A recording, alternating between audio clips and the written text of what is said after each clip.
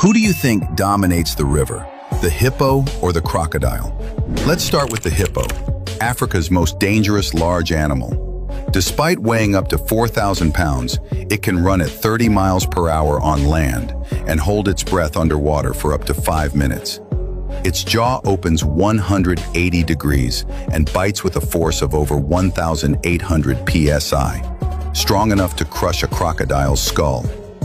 Now comes the crocodile, the silent assassin of the water.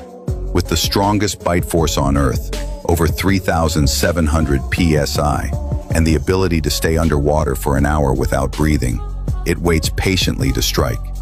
Its tough, armor-like skin and deadly death roll can tear apart almost any animal that enters its territory. But crocodiles rarely attack adult hippos. Why? Because hippos travel in groups, are extremely territorial, and even crocodiles know one wrong move can cost their life. But when these two giants clash at the river's edge, it's not just a fight, it's a battle of survival. So, between these two giants, who do you think rules the river? Like that? Subscribe, like, and share. More mind-blowing facts are about to react right here on the Fact Reactor.